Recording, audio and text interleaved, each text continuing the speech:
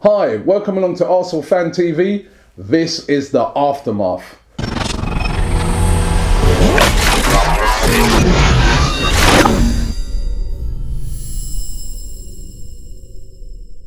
Well, uh, got to talk about the game the other night. Um, Jekyll and Hyde was back again. uh, we got the good side of Arsenal the other night. Very good performance. Um, I thought that we controlled the game um, right from the start. I liked the tempo of Arsenal. I liked the way we closed them down. We didn't give them any space. We didn't give them any room. We didn't give them any time like what we did when they played us the first time when we just allowed them loads of time on the ball to pass it around. What we did this time is that we were on them. We were hounding them. We didn't allow them any space. And then when we got the ball now, we controlled the play and we created so many chances and we only won 1 0, but in truth, we could probably have won that game like 4 5 0. I mean, Theo uh, wasn't on his sharpest, or we could possibly have won that game by about 5 4 5 0.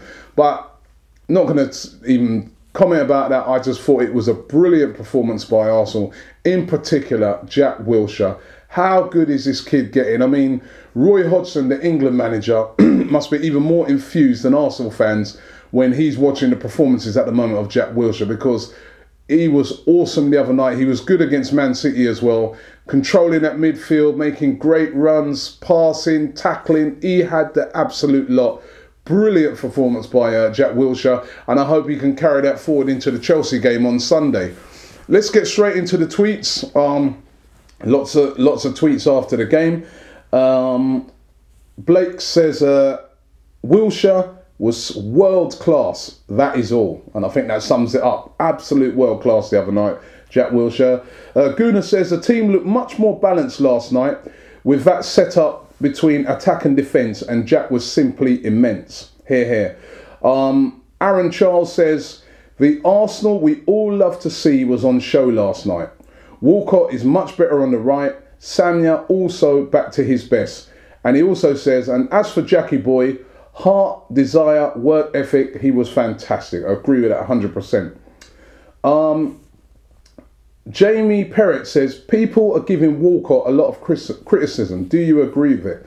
Ja- Jamie, I don't agree with it at all. I mean, the other night, yes, his finishing wasn't at its best, and he, he you know, he, on another night he could have had a hat trick. But I, I think sometimes, I'm at the game sometimes, and I think some of the criticism that Theo Walcott gets is so unfair. It's as if if he doesn't have a perfect game, or if the first time he misses a chance, is, oh yeah, you want 90 grand and you want to play up front, but you missed a chance. But hold on a minute. Every striker, even Messi, misses chances. What? Do, do you then criticise him out every time after he misses a chance? Arsenal fans, get off Theo Walcott's back. He's probably been our best player this season. Last season, he, he, he had the most assists for the team. He was the second top scorer for the team. He is a brilliant player, and I'm glad that um, Arsene Wenger is about to uh, sign him up. Um, Wenger said uh, yesterday he's 99% sure that he's going to sign a new contract. I'm glad that that's happening, and I want Arsenal fans to start getting behind Theo Walcott because there are some fans there. For some reason, I can't understand it when I'm at games. They're just on the guy's back for no reason. If he doesn't, if he goes on a run and he loses the ball or something, they criticise him. I like players that run at players. And when you run at players, every now and again, you're going to get tackled and you lose the ball. That doesn't mean that you don't try it again. So fans, get off his back. I think the criticism is so unfair of Theo Walcott. Uh, moving on with uh, with the um, tweets here. Um, Arsenal, uh, uh, sorry, Danny Meehan says uh, we lack consistency. Often, uh, we're often poor in the first half, but it's better in the second. Um, same with Theo, Santi, etc. They ease off too much, um, and their games are too inconsistent. Again, uh, you know, uh, get off their backs. They, you know, I think these guys, they're really trying. Um, Miguel Pinto says a terrible first half, but strong second one. Coquelin had a good game. He was he was a shining light in that game as well. He had a good game and shows great qualities. Theo had a terrible match. I don't know what match he was watching. I'm sorry, Miguel. I can't agree with you on that. Wilshere again carrying Arsenal. Really excited with the bid on Cavani. We're going to come to that. And finally, they've decided to make an excellent move. Again, I cannot agree that Theo had a terrible game. Theo missed a lot of chances, but he got into good positions.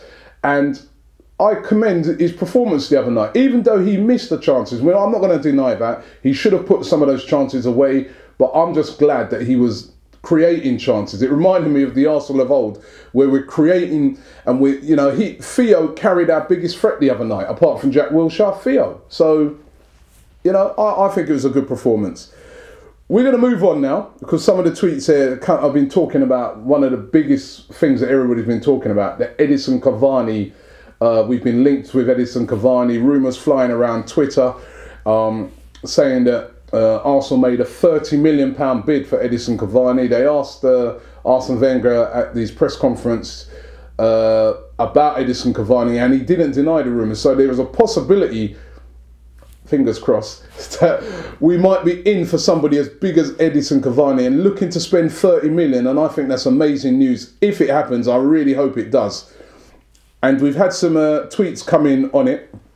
Uh, let me go to either Ivor Apostoliski, he says Cavani is the best option for us um, as a striker, a powerful forward with pace and balance, plus his shot is awesome. He's a top class player. Um, Hasib Wally says 30 million pounds for a player. No way Arsenal will ever pay that sort of money. probably, unfortunately, he's probably right. I'm hoping that you're wrong, Hasib, but um, in past histories, uh, you're you're probably right. Um, and also uh, Miguel, um, Miguel Pinto, as I was just saying, he was saying um, that if we move for Cavani, that would be excellent. Now, Edinson Cavani, the, that type of caliber of player, as I've been saying in some of these aftermaths, I want a player that's going to get me excited, get me jumping off my seat. Now, if we was to make a signing like that, I would be excited. I mean, could you imagine Edinson Cavani through the middle, Walcott on the right, Podolski on the left, that is a strike force that would frighten teams. Then you'd have Giroud to come off the bench, or you can alternate Giroud. You could play Theo as striker sometime. Now that is the sort of moves that Arsenal need to be making, and I still think also we must get a defensive midfielder. Now Arsene Wenger saying he's going to make two signings at least. If it was say Cavani and say I don't know a Diame uh, as a holding midfielder, I'll be very happy with that. Um, obviously, lots of rumours and speculation flying about. It's probably going to be the usual Arsenal thing where they wait right down to the wire before they make a signing. However, I'm very infused to know that there is the possibility that Arsenal finally going to get the proper money out to buy these players because you're not going to get a player of Edinson Cavani's caliber with 15 million pounds. You've got to spend big. It is as simple as that. Um, Game on Sunday. I've got my ticket here. Uh, Chelsea, for all those Man City fans who were complaining last week, £59, right?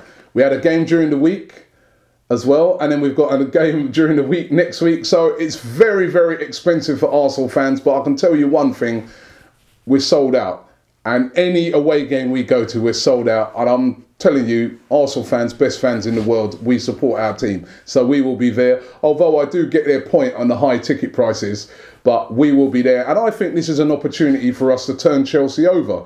Um, Chelsea are not performing well at home at the moment. They drew 2 all during the week.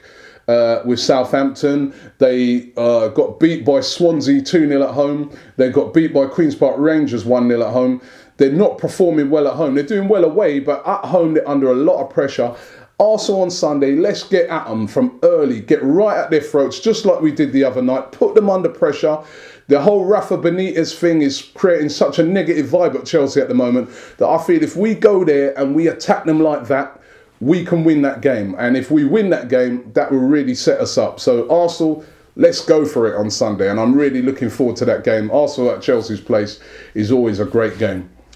Don't forget to, if you've got comments on any of the things that I've been talking about, don't forget to leave your comments. Um, we, we read all the comments. I can guarantee you that every comment that is put, we read all the comments. And what we're going to endeavour to do over the next few weeks, we're going to start putting some of your comments up as well on the scroll so that people can see um, exactly what you're saying as well, because we, we really value the comments that you're sending us. Don't forget to check out our videos. Of course, uh, we had some brilliant videos this week after the game. We caught up with um, some vloggers. We caught up with um, uh, Grant from All About Arsenal.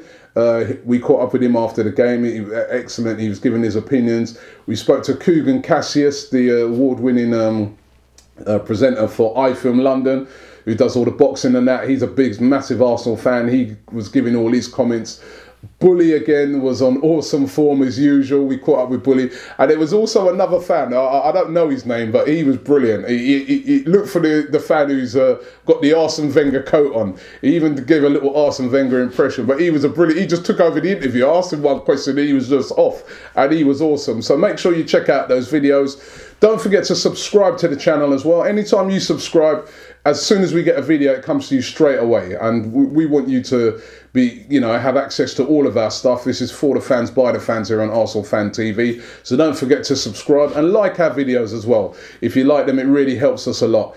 Thank you very much for uh, tuning into the aftermath today. I'm hoping that on the next aftermath, I'm talking about 3 0 to Arsenal against Chelsea. Let's do them. Let's do them.